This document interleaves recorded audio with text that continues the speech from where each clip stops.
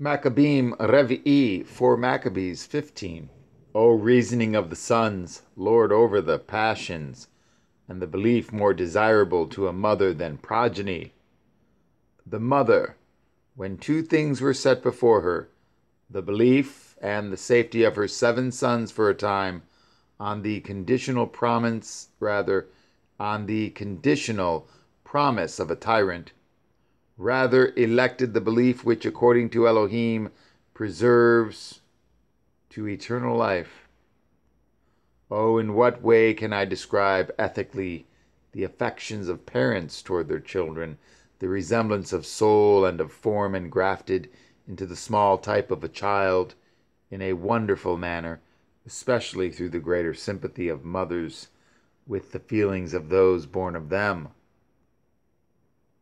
For by how much mothers are by nature weak in disposition and prolific in offspring, by so much the fonder they are of children. And of all mothers, and rather, and of all mothers, the mother of the seven was the fondest of children, who in seven childbirths had deeply engendered love toward them. And through her many pains, undergone in connection with each one, was compelled to feel sympathy with them, yet, through fear of Elohim, who neglected the temporary salvation of her children. Not but that, on account of the excellent disposition to the Torah, her maternal affection toward them was increased, for they were both just and temperate, and manly, and high minded, and fond of their brethren, and so fond of their mother that even unto death they obeyed her by observing the Torah.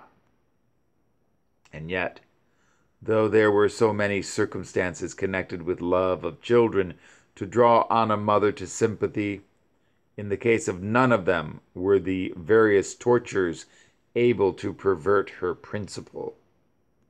But she inclined each one separately and altogether to death for the belief. O holy nature and parental feeling, and reward of bringing up children, and unconquerable maternal affection! At the racking and roasting of each one of them, the observant mother was prevented by, rather, by the belief from changing.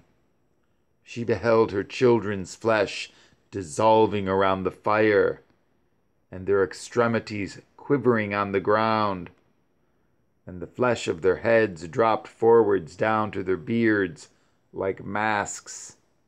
O oh, mother, who was tried at this time with bitter pangs than those of parturition? O oh, you only woman who has brought forth perfect holiness! Your firstborn, expiring, turned you not nor the second, looking miserable in his torments, nor the third, breathing out his soul. Nor when you did behold the eyes of each of them looking sternly upon their tortures, and their nostrils foreboding death, did you weep. When you did see children's flesh heaped upon children's flesh that had been torn off, heads decapitated upon heads, dead falling upon the dead, and a choir of children turned through torture into a burying ground. You lamented not.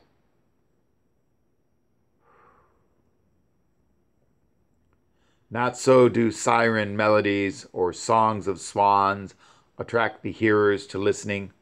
O voices of children, calling upon your mother in the midst of torments! With what and what manner of torments was the mother herself tortured? As her sons were undergoing the wheel and the fires. But observant reasoning, having strengthened her courage in the midst of sufferings, enabled her to forego, for the time, parental love. Although beholding the destruction of seven children, the noble mother, after one embrace, stripped off her feelings through belief in Elohim. For just as in a council room, beholding in her own soul vehement counselors, nature and parentage and love of her children and the racking of her children, she holding two votes, one for the death, the other for the preservation of her children, did not lean to that which would have saved her children for the safety of a brief space. But this daughter of Abraham remembered his holy fortitude. O holy mother of a nation, avenger of the Torah, and defender of the belief, and prime bearer in the battle of the affections. O nobler in endurance than males, and more manly than men in patience. For as the ark of Noach, bearing the world in the world filling blood, rather flood, bore up against the waves, so you, the guardian of the Torah, when surrounded on every side by the floods of passions, and straitened by violent storms, which were the torments of your children, did bear up nobly against the storms, against the belief